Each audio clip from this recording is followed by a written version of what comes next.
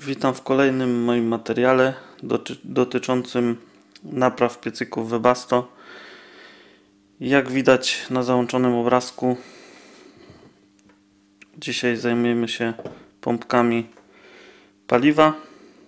Jak wiadomo, może nie wszystkim, pompka paliwa jest sterowana y, impulsami, bo jest to elektromagnes.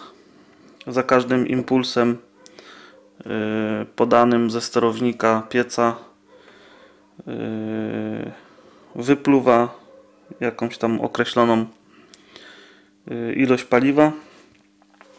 No i rodzaje pompek. Pompka DP2 najczęściej spotykana w starszych BMKach zamienna z pompką DP30 mają tą samą wydajność wydajność pompek mierzy się mierząc ilość paliwa na określoną ilość uderzeń w tym przypadku przy 1000 uderzeń ma wypluć około 60-65 ml paliwa. Pokażę oczywiście za chwilę y, na programie Webasto jak się, jak się taki test pompki robi. Y, później w piecykach, aha, w y, pompki DP30 i DP2 służą do piecy Thermotop Z, C, E, P i chyba wszystkie airtopy.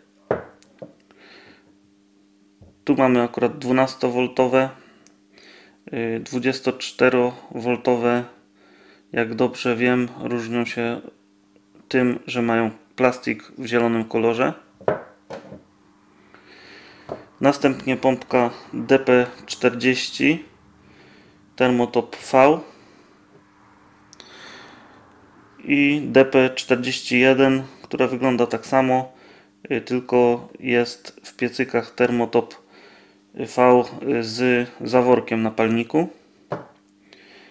No i pompka DP42 w, te, w, w piecykach Thermotop Evo i Vevo. Pompkami od Ebersprechera się niestety nie zajmuję, bo tymi piecami, no tych piecy sporadycznie je naprawiam więc nie za wiele o nich wiem. Wiem tylko tyle, że mają najczęściej naklejkę i oczywiście tutaj opisane do jakich piecy, do jakiej mocy są yy, przystosowane. No i napięcie zasilania 12 czy tam 24 V. Yy, no i tak, pompka DP40 jej wydajność y, podczas testu, to zaraz jeszcze pokażę jak ten test przeprowadzić, y, powinna wypluć y, dla benzyny, dla pompki benzynowej 34 do 42 ml, a dla diesla 36 do 44 ml. Pompka DP42 test przeprowadza się podobnie. Dla benzyny 11,6 ml do 14,3 i dla diesla 12 do 14 ml. Te informacje wszystkie y, napiszę w opisie y, filmu, pod filmem, gdybym też coś tam przekręcił, bo też wszystko mówię z głowy to warto sobie do tego opisu zajrzeć. Tam wszystkie informacje y, będą napisane.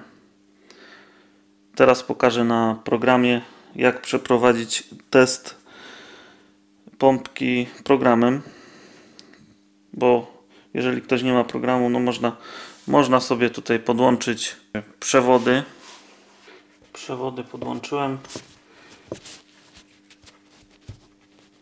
i impulsowo podawać napięcie. Jak widać paliwo wypluwa od strony kostki i ta, tą stroną oczywiście podłączamy w kierunku pieca.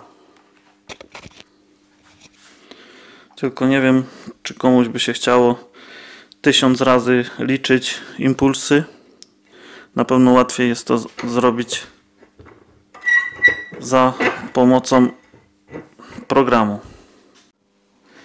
Ok, przenieśliśmy się na stanowisko testowe. Pompkę mam podłączoną do butelki z paliwem. Do na pompkę jest założona strzykawka. Ręcznie ją y, wężyk odpowietrzyłem. Strzykawka nam pokaże jaką wartość pompka wypluje.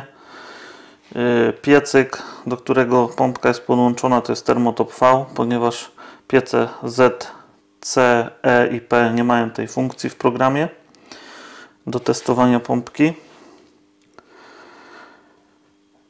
I tak, łączymy się z piecem.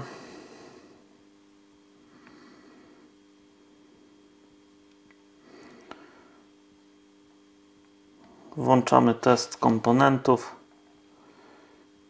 i pompa paliwa. No i dla pompy y, DP30, taką jak tu mam podłączoną, tak jak mówiłem, trzeba wykonać 1000 uderzeń, czyli 5 Hz y, przez 200 sekund. Tu po włączeniu nam się pokaże te 5 Hz. Będzie to działać 200 sekund, czyli 1000 uderzeń nam uruchomi. Jak widać i słychać pompka stuka, paliwo już powoli leci. No i czekamy.